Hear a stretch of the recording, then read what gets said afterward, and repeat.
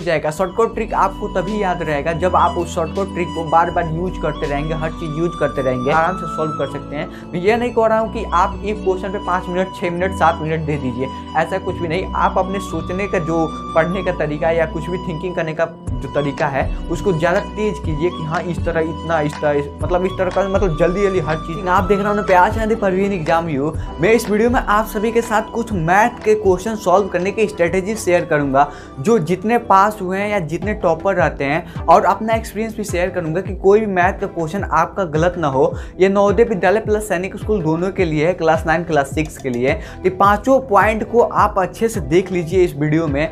तब जा के आप आराम से मतलब जहाँ पे एग्ज़ाम सेंटर है, वहाँ पे जा करके पेपर में एक भी क्वेश्चन गलत नहीं कर सकते हैं। तो इस वीडियो के एंड तक ज़रूर देखिएगा, और पाँचों पॉइंट को ध्यान से देखिएगा। पहला पॉइंट है, हर किसी के साथ होता है। जैसे पहला पॉइंट का नाम है कंफ्यूजन कंफ्यूजन मैथ के क्वेश्चन से रिलेटेड या कोई भी सब्जेक्ट में आप सभी कंफ्यूजन होता है। लेकिन मैथ के सब्जेक्ट में कुछ ज़्यादा ही कंफ्यूजन होता है। मैथ सब्जेक्ट कभी याद नहीं किया जाता है और इसे अच्छे तरीके से समझा जाता है कि कैसे सॉल्व हो रहा है, क्या इसका फॉर्मूला होता है। ऐसे करके किया जाता है। आप याद करते होंगे तो समझिए कि आपका मैथ उतना सही नहीं रहेगा। बाद में भूल भी सकते हैं अदर सब्जेक्ट के जैसे।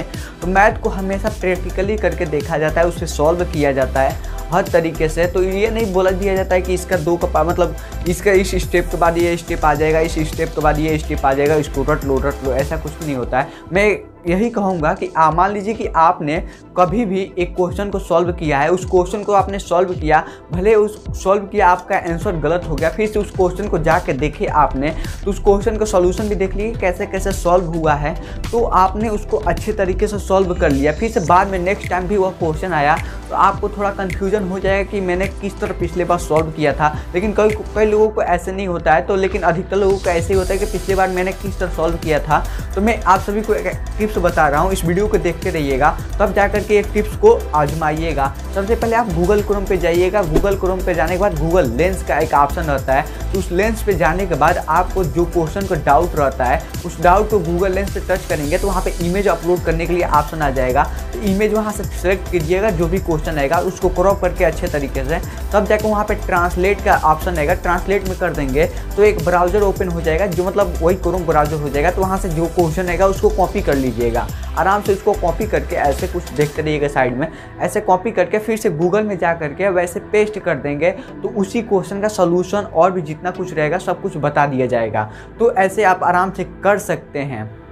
और कन्फ्यूज़न में कोई भी कन्फ्यूज़न मतलब जितना भी कन्फ्यूज़न आपको लगता है कि मुझे मुझे एरिया मतलब एरिया वाले क्वेश्चन में कन्फ्यूज़न है मतलब एरिया वाली चैप्टर में कन्फ्यूज़न है परसेंटेज में या प्रॉफिट लॉस में तो सभी कन्फ्यूज़न को दूर कर लीजिएगा। और भी नवोदय विद्यालय क्लास सिक्स के लिए 2024 के लिए चक्षु पब्लिकेशन का ये सबसे अच्छा बुक है। अगर आप ख़रीदना चाहते हो तो नीचे दिए गए डिस्क्रिप्शन में लिंक है, वहाँ जाके ख़रीद सकते हो।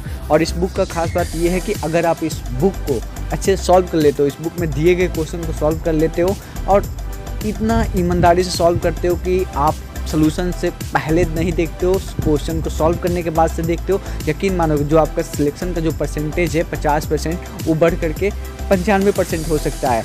आपको बस इस बुक को खरीद लेना है और जितना जितना हो सके पढ़ाई करते रहना है इस बुक से हर एक क्वेश्चन को सॉल्व कर लेना है इस बुक को इतने अच्छे से यूज़ करना है जितना आपने सोचा नहीं होगा। एक एक पन्ने आपके दिमाग में छपे होने चाहिए इस बुक के। तो इसको खरीदने के लिए नीचे दिए गए डिस्क्रिप्शन में लिंक है, वहाँ जाके खरीद सकते हो। नेक्स्ट पॉइंट सिंपली फार्मूला है। तो फार्मूला का मैंने बता दिया फार्मूला को देख लीजिएगा। जैसे कि आपको मान लीजिए कोई भी सब्जेक्ट ऐसा लगता होगा मतलब कोई भी ऐसा जो लेसन होगा जो आपको सबसे हार्ड लगता होगा, उसी लेसन से जाइए और जितना भी फार्मूला होता है, उस फार्मूला को अच्छे तरीके से देखिएगा। मैं यह नहीं कहूँगा कि आप जाइए, उसको एकदम रट लीजिए रट लीजिए कि एरिया का फार्मूला क्या होता है? एन टू बी होता है एन टू बी होता है। मतलब ऐसे करके रटिएगा मत। उस फार्मूला का यूज़ करके वैसे क्वेश्चन को सॉल्व कीजिएगा तो फार्मूला आपका अधिकतर सही होता जाएगा और आपको याद भी हो जाएगा। और कुछ समझ में आ जाएगा कि इस फार्मूला का कहाँ यूज़ होता है। जैसे एरिया निकालने का फार्मूला क्या होता है और पेरीमीटर निकालने का फार्मूला क्या होता है और रेक्टेंगल का पेरीमीटर निकालने का फार्मूला क्या होता है, आप हमको कमेंट करके बता सकते हैं।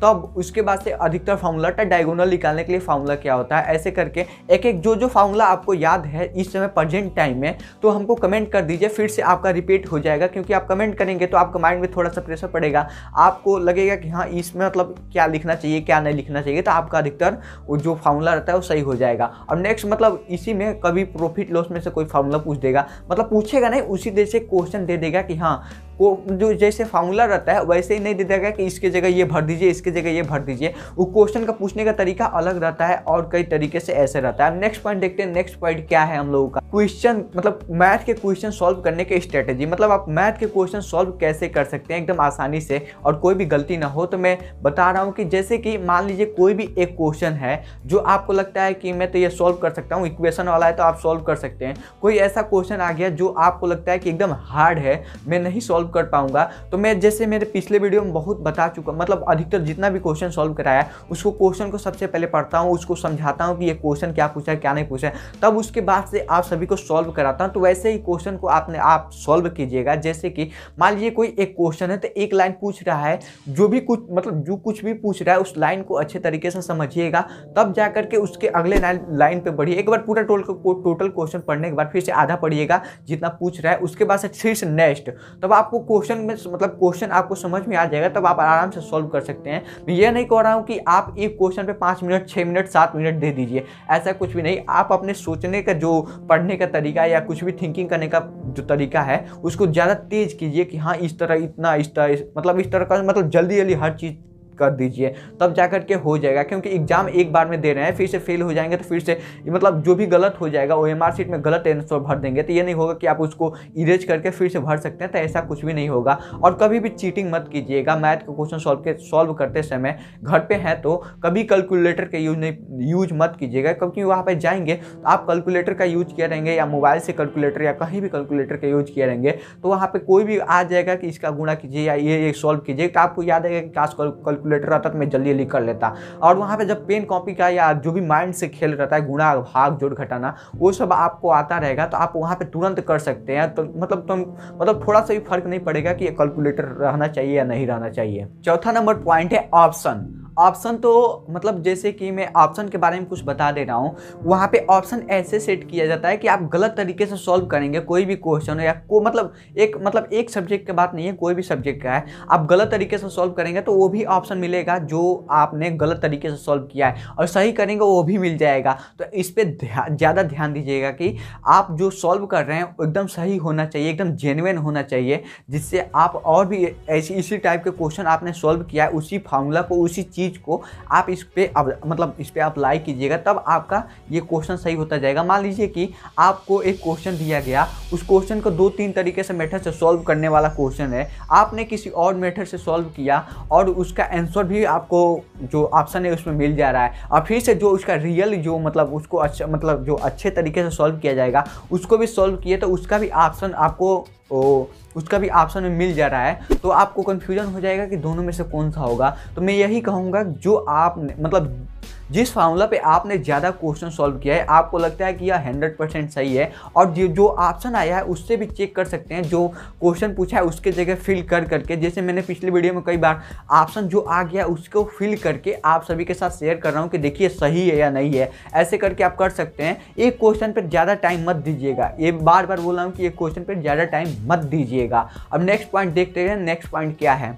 जैसे नेक्स्ट पॉइंट है शॉर्टकट ट्रिक मैथ के क्वेश्चन सॉल्व करते मतलब करने के लिए वो कॉम्पिटेटिव एग्ज़ाम में और मतलब जो स्कूल में पढ़ते हैं स्कूल में शॉर्टकट ट्रिक से कर देंगे तो जो टीचर रहेगा उसको कट करके बहुत कम नंबर दे देगा। भले ही आप सही उत्तर लाए होंगे तो सही है, लेकिन वहाँ पे जो रहता है उसको आप एकदम अच्छे से सॉल्व कीजिएगा। जैसे कि शॉर्टकट ट्रिक का मतलब यही होता है, जो पूरा इक्वेशन रहता है, उस इक्वेशन की जगह कुछ शॉर्टकट ट्रिक बना दिया जाता है कि इसको यहाँ पर ये भर देंगे, इसको यहाँ पर ये भर देंगे तो ये हो जाएगा। शॉर्टकट ट्रिक आपको तभी याद रहेगा जब आप उस शॉर्टकट ट्रिक को बार बार यूज़ करते रहेंगे, हर चीज़ यूज़ करते रहेंगे। और ऐसा भी हो सकता है कि आपने कई दिनों से या कई मतलब कई महीनों से उसको शॉर्टकट ट्रिक को नहीं यूज़ किया है और कुछ भूल जाएँगे तो बाद में वो कन्फ्यूज़न हो जाएगा। कन्फ्यूज़न हो जाएगा तो आप क्या कर सकते हैं? सिंपली गलत हो जाएगा कि मैंने क्या इस जगह पे क्या होगा, क्या नहीं होगा। ऐसे करके आप मतलब कोई भी कन्फ्यूज़न में न, मत रहिएगा। तब तक के लिए इन दोनों में से कोई एक वीडियो देखिए। बेस्ट ऑफ़ लक एग्ज़ाम के लिए, क्योंकि एग्ज़ाम आप सभी का सबसे करीब आ चुका है।